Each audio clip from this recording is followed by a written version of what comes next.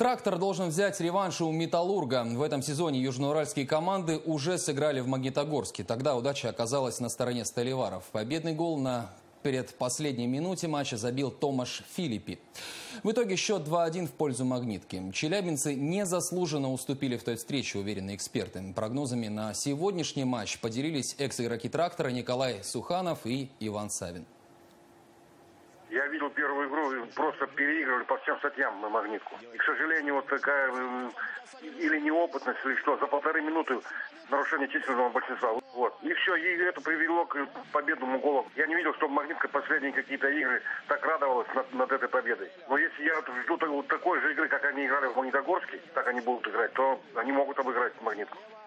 Э, я следил за предсезонными играми команды. Впечатление произвела очень положительные. Команда хорошо укомплектована. Видно, что э, руководство работало э, очень продуктивно в плане селекции.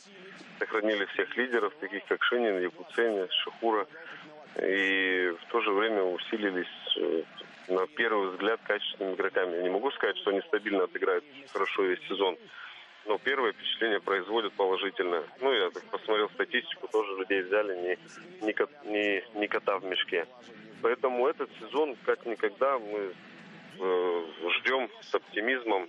И то, что первые э, такие осечки случились, ничего страшного.